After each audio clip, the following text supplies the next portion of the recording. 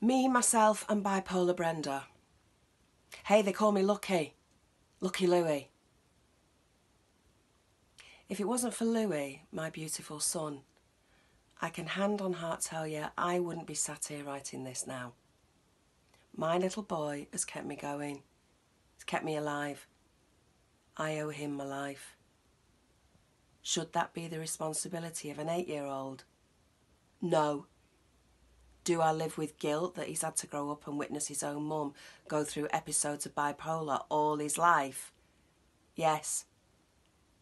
Now, it's not enough to rob me of a normal existence, but for my own baby boy to have that snatched from him without his consent, that's how cruel this disease is.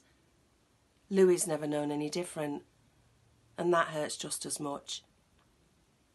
I feel ashamed even now because of the anxiety attacks that come out of absolutely nowhere.